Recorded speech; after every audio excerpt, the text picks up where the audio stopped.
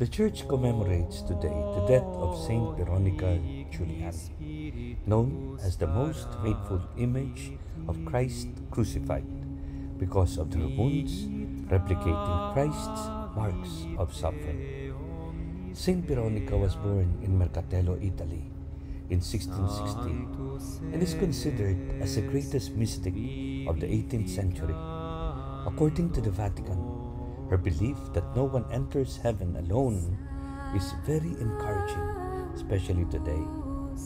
For almost 300 years, the Church celebrates Saint Veronica's entry to heaven because of her heroic example on how to completely immerse oneself in God for the sake of others.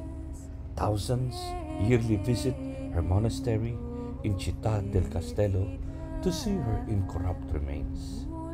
Veronica started having visions of Christ at the young age of 17. Upon entering the Franciscan minor order of poor Clares, wounds around her head, which looked like a crown, appeared.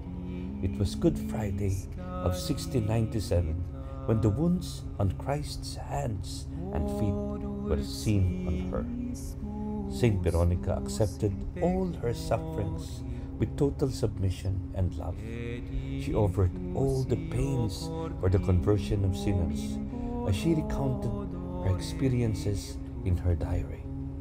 Finally, God called her to his kingdom on July 9, 1727. After studying the life of the unusual nun, scrutinizing her mystical visions and supposed miracles, the church finally raised her to the altars on May 26, 1839.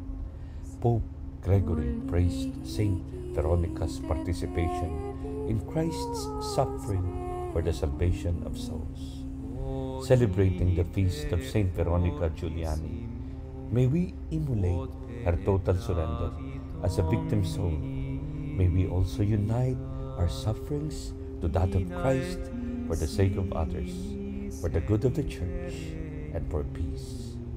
May we follow her advice to be cheerful in the midst of suffering in order to learn genuine love. One with our brothers and sisters in this pandemic, may we continue to live in peace and joy through our complete communion with God.